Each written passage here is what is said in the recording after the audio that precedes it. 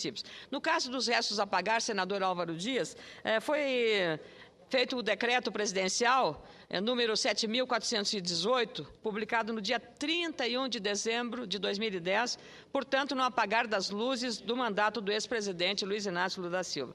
Esse decreto trata dos restos a pagar não processados dos exercícios financeiros de 2007, 2008, 2009, com validade até 30 de abril deste ano. 30 de abril. Nós já estamos no final de março e o prazo está esgotando.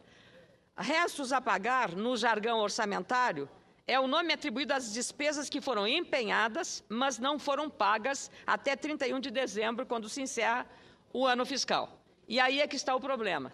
Muitas prefeituras contrataram um serviço, precisam pagar o fornecedor, mas diante desse decreto e o prazo exíguo, 30 de abril, estarão algumas delas, como eu já disse aqui, até recorrendo à justiça para poder estar dentro da lei e cumprindo com os seus compromissos, por força deste decreto.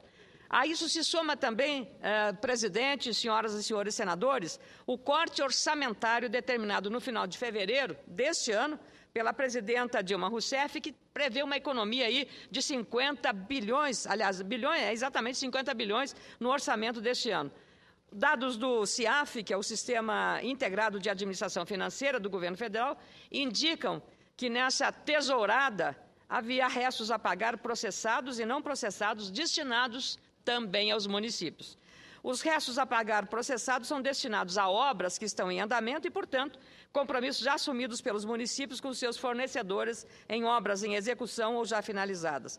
Esses cortes orçamentários em restos a pagar processados ou não determinam, aliás, ou comprometem muito a segurança jurídica dos administradores municipais, além de impedir a continuação das obras que já estão em andamento ou prestes a serem iniciadas, este corte pode trazer sérios problemas a contratos que foram firmados entre as prefeituras e seus fornecedores, gerando descrédito dos administradores junto às suas comunidades.